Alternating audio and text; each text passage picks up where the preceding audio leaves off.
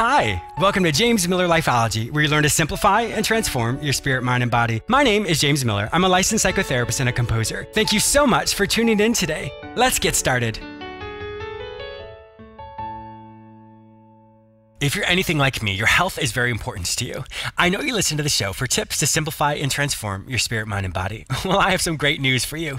James Miller Lifeology has partnered with BiOptimizers Nutrition. As an avid nutrition and exercise enthusiast, I thought I knew a lot. But after taking the 12 week health course BiOptimizers offers and implementing their supplements, I noticed a huge difference in my energy and my digestive tract. Since you're a listener of Lifeology Radio, BiOptimizers is offering you the same 12 week course absolutely free.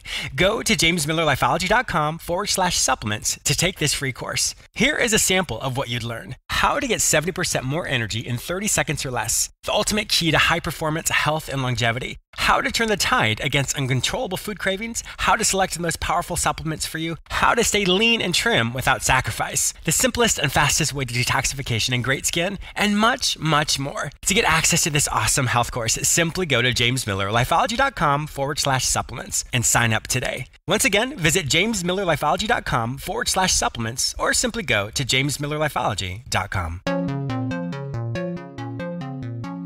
I have a great show for you today. I'm going to help you encourage yourself. I'll also be interviewing Jennifer Cohn, a woman who successfully made a career change with minimal encouragement from others. As you'll hear later in this interview, Jenn is a dear friend of mine. On the date of this episode airing will actually be her birthday. So, Jenn, all of her friends, and I wanted to wish you the best birthday you've ever had. May this year supersede all of your hopes and dreams, and you receive more blessings and surprises than any other year. Happy birthday, Jenn. I have some exciting news. Did you know that I'm on the radio three times a week? You may hear me on the same station on Tuesdays at 1.30 p.m., Fridays at 9.30 a.m., and Saturdays at 12.30 p.m. You may also hear me anytime on iHeartRadio as well as on all the other major podcasting platforms, including iTunes, Google Play, Stitcher, and many others. Simply search for the show name, James Miller Lifeology. It is said that Dante Gabriel Rossetti, the famous 19th century poet and artist, was once approached by an elderly man. The old fellow has some sketches and drawings that he wanted Rossetti to look at and tell him if they were any good, or if at least they showed potential talent. Rossetti looked them over carefully. After the first few, he knew that they were worthless, showing not the least sign of artistic talent. But Rossetti was a kind man, and he told the elderly man as gently as possible that the pictures were of limited, if any, value. He was sorry, but he could not lie to the man. The visitor was disappointed, but seemed to expect Rossetti's judgment. He then apologized for taking up the great artist's time, but would he just look at a few more drawings that had been done by a much younger art student? Rossetti looked over the second batch of sketches and immediately became enthusiastic over the talent they revealed. These, he said, oh, these are good. This young student has great talent. He should be given every help and encouragement in his career as an artist. He has a great future if he will work hard and stick to it. Rossetti could see that the old fellow was deeply moved. Who is this fine young artist? he asked. Your son? No, said the old man sadly. It is me, forty years ago. If only I had heard your praise then. For you see, I got discouraged and gave up too soon. Self encouragement. We all have hopes and dreams, but unfortunately, many of those dreams die stillborn. One of the main reasons is we were not encouraged. The biggest lesson we can learn is how to encourage ourselves. Not everyone in your life is going to understand what you want to do well meaning people can unfortunately talk you out of the hopes and dreams you have, and unfortunately, you never accomplish them. Anytime you want to make a change in your life, you're going to be very fearful. You're going to be nervous about it. That's natural. One thing to really consider is there are actually two steps when it comes to decision making. The first step is the biggest step, and that is information gathering. We often want to make a change, but we automatically think we can't do it because we don't have the experience, we don't have the knowledge, we don't have the foresight. And you're right, you won't be able to do it. So that's why we don't yet make the decision, but we information gather first. The more information that you gather, the more confident you feel that you can make the decision. And then the second part, of course, of any decision making is the actual action part of it. That's when you decide if you're going to do it. But what happens when you're trying to gather your courage to make a change and unfortunately no one is around you, or perhaps people are not supporting you the way that you'd like for them to? Think of it this way What advice would you give a friend who is struggling with something? What advice would you give someone to encourage them to help them? It's the same mentality. When you think in your mind what you want to do, what are the immediate thoughts that you think? You'll recognize that there's a pattern there. If you find that your thoughts immediately tell you that you can't do something, or you're not good enough, or there's no way you're going to succeed, those are actually our core beliefs that we have. Core beliefs are essentially the foundational pieces of who we are that really permeate our life in many areas. For example, in relationships, if there's a breakup, we automatically think it's our fault. We don't think we're good enough. We don't think we're attractive enough. If you get laid off from your job, your job performance wasn't good enough, or a friend leaves, you'd automatically think it was your fault. Unfortunately, those thoughts have permeated the foundation of who you are, and they cause you to second guess yourself. The workaround of that is this what you'd say to your friend is exactly what you would say to yourself. The five senses that we have are actually used to help us understand our place in the world. In other words, understand the proximity or the distance or the danger around us to make sure that we're safe. When you actually speak aloud or when you hear someone speak aloud, you have to focus on it. You have to listen to what they say. Sure, you may be having different thoughts in your mind, but when you focus on what is said aloud, the thoughts in your mind have to slow down. So the workaround is this speak aloud those positive self affirmations. Speak aloud that which you would speak to a friend of yours who was asking you for advice for what you're going through. The more often you can speak aloud, the more you start to hear it, which quiets down those looping thoughts that go over and over and over again. That little technique will really start to help you. In the morning, when you're getting ready for work, speak those thoughts to yourself while you're looking in the mirror. The more often you can say those things aloud, you believe it. Just like a child who's encouraged, they grow up believing that they can do anything possible with hard work. And just like a child who's not encouraged, they will always feel less than. Don't be like the elderly man in the story we heard. Don't hmm. wait for someone else to encourage you. You are the one who can encourage you. You are the one who has the ability to change your future, to accomplish all of your dreams. Learn to self encourage today.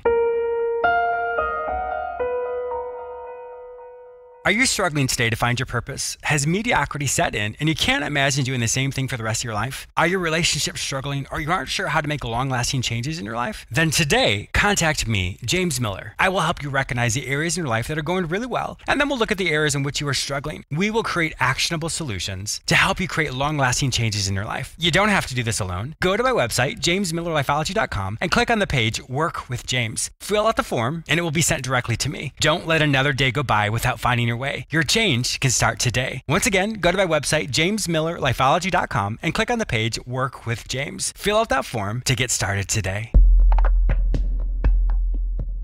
Jennifer Cohn is a young, sparkly professional starting a new career helping others. After going back to school, getting all A's, and getting the job she wanted, she learned it doesn't matter how many believers and non believers are in your life. You are your biggest cheerleader. At the end of the day, you make a choice to take a chance to make a change. Welcome to my show, Jenn. Thank you. I'm so excited to be here. Yes, I am excited as well. My listeners may not know this, but Jenn is actually a dear friend of mine. In fact, if you go to my Instagram, the person that I'm usually at the beach with, that is Jennifer. So you oh, the paparazzi get us all the time. yes, they do.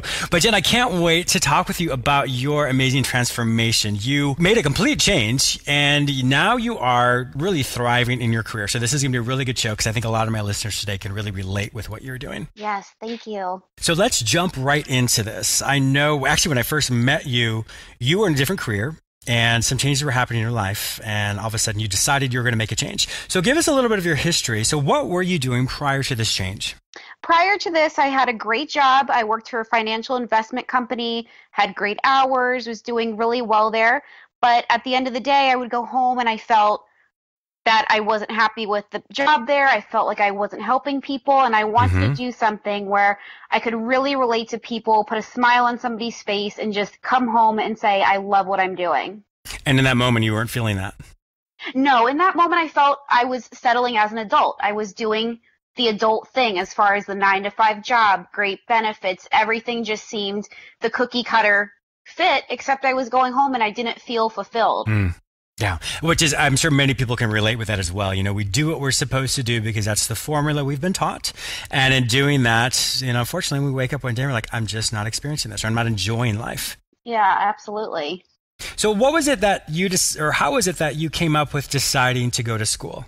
I originally started school in healthcare, but I knew I didn't want to be a nurse, but I didn't know exactly what I wanted to do. So, mm-hmm. it took a few years Later on, I realized I really enjoy everything that relates to the heart.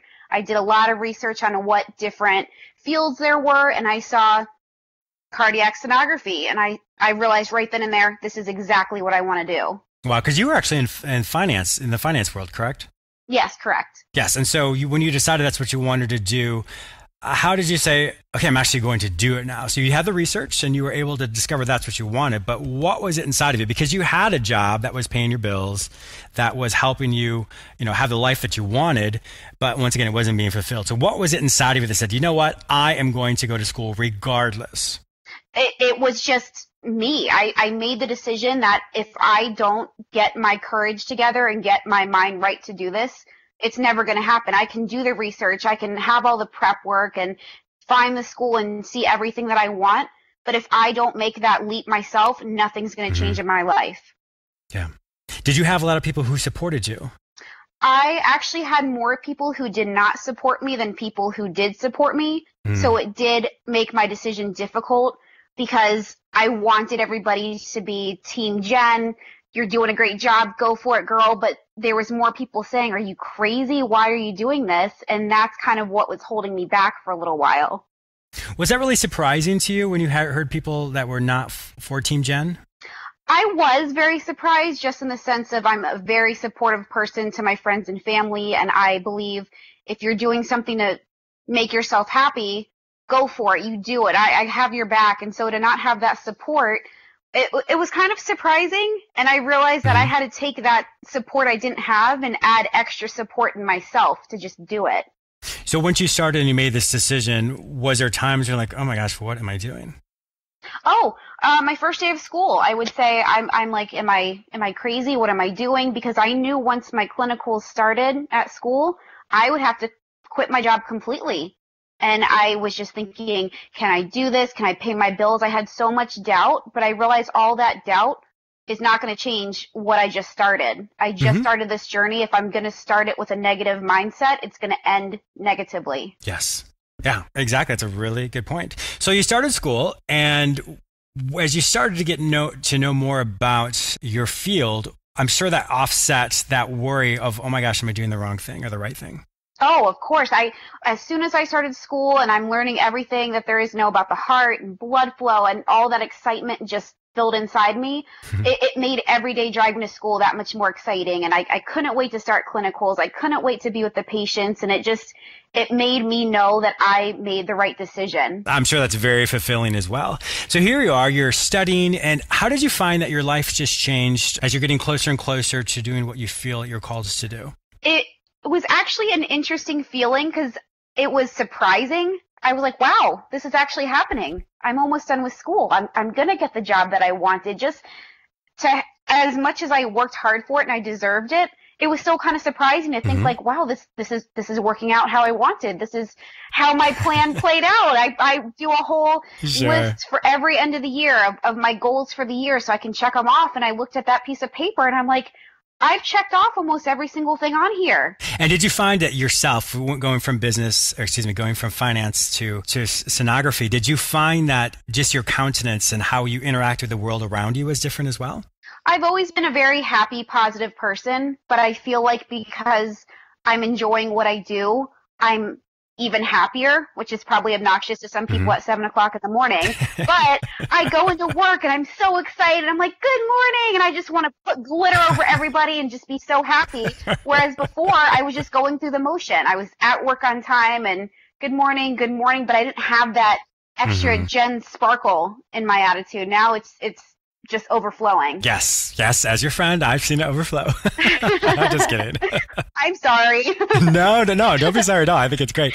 So let's let's talk more about. Uh, so as as you were going uh, to school, in fact, I was blessed to be invited to your graduation, and you got so many awards. Tell us about the you know the uncertainty of oh my gosh, can I do this? So at the end, here you are getting all these awards. I mean, that had to feel pretty amazing it felt really good again just because of some of the negativity that I had. You know, I I lost some people in my life that I was close to because it because I was making this life change, I knew that my life was going to change in the sense I might not be able to go out and do things all the time because I have to study. I, I had I made promises to myself that if I'm going to go back to school, I'm not just going to breeze through. I want to have straight A's. I want to pass my board exams. Mm-hmm. I had goals set and unfortunately you have to make sacrifices to grow. So at the end of mm-hmm. the school year, graduating with straight A's, being asked to speak on behalf of my class at graduation, then to receive an award I didn't even know about for best in clinical, it, it was just, I, I was beaming. My cheeks hurt from smiling so much. yeah, it was great. Yeah, we are all very proud of you. One of the greatest think compliments I think as well is tell us more about your the place where you had your your internship, your clinicals. They offered you what? Oh, they offered me a job. Oh my gosh, it was so exciting because I for some reason I had my heart set on doing clinicals at Jupiter Medical Center and that was never a site that my school had. They had all these other sites and I I told my teacher I want to go to Jupiter Medical Center. And when it came time for my clinicals, suddenly it opened up. And I'm very big on everything happens for a reason and angel numbers and I feel everything works how it should. And it, that was a sign right mm-hmm. then and there. The fact that they never had it and then it opened up, that was my sign. So I just wanted to wow them. I went in there, worked with some great nurses. Uh, the people in, in Echo are just wonderful. The doctors were great. And I just said, I want a job here. And when I said that, obviously I was still a student. They didn't even have a position open. And I said, it's fine. When I'm done with school at the end of September, I know that I'm going to have a job here. Well, maybe a month before, I, yeah, a little bit, uh, you know, demanding maybe. No, when you put something out there and you believe it, it comes true. Yeah, I just, I, all I could think of is I really want to work with these people. I really want to help these patients because you, you start seeing repetitive patients and it, it was just wonderful. Mm-hmm. So about a month before I was done with school, a position happened to open up and they had the option to bring somebody else on or they could wait for me and they chose to wait for me. And, um, as I said before, I'm, I'm very big on angel numbers, which is a, a sequence of numbers, whether it's 1212 or 222, and you just make a wish and you put out into the universe what you want to get back. My uh, start date at the hospital was 1010. Oh, wow. that definitely is a strong angel number for you then. yeah. So to me, to get hired on an angel number, to have that as my start date, to me was just, is the start of a great future. Yeah. That's that's absolutely amazing. Yes. So tell us more about your boards. I know you were studying crazy for them, but tell us more about that. Oh goodness. Well, um, I was studying like crazy. I had my first board exam um, in March, actually last year, and I I studied as much as I could, but I knew that I wanted to pass this board right away, and I was actually the first student at my school to pass this board exam. Um, so they did a whole cake and everything, and, and it just felt so good because not only are you putting in the work for school and your test there, but this is a, a national board exam. So it was a whole nother test. Um, I did that, and it just felt great to know I have one out of the way. I have one more to go. Um, when I finished school in September, I had to do the same studying. And like I said I, I had to sacrifice a lot whether it was hanging out with friends or you know not watching Real Housewives because I had to study. And I, I walked into this test and and I was terrified when they were IDing me. I was shaking because I was I was really scared. And I did the first few questions and all I could think of is oh my god this is so hard. I went through the test uh, the first time because you can go back and re-answer questions. And at the end I'm thinking oh, I, I'm not going to pass this. I, I'm not going to make it. If this is so hard. And I almost had to have a mental talk to myself and say, if you're mm-hmm. going to think this way, then you're not going to pass it. Go back through it exactly. again. Look at everything. If you feel you answered it the best, leave it alone. If you feel there's a better choice, change your answer. And I did it. And as soon as I hit submit at the end, it said, congratulations, you passed. And I almost collapsed, but I didn't because I was already sitting. So thank goodness for that. I do remember you contacted me afterwards, like, "Oh my god, it passed!" And we're all like, "Of course you passed, Jenn. Why would you not?" Oh, I was pass? so excited. I started driving the wrong way when I left the testing center and almost ended up in Key West. So I got a little distracted. Yes, that's the wrong word. Just a little. bit. Yeah. Well, obviously, congratulations for that. So tell us more the, the next transition for you. So then you started working there at Jupiter Medical yes, Center. so I began working. Um, I started with the training and um, I obviously already set further goals for myself after that, but the thing that I wanted to master first was looking at the heart on adults and any opportunity I could to learn whether it's jumping in there myself and doing the echo, whether it's watching my coworker in downtime, whether it's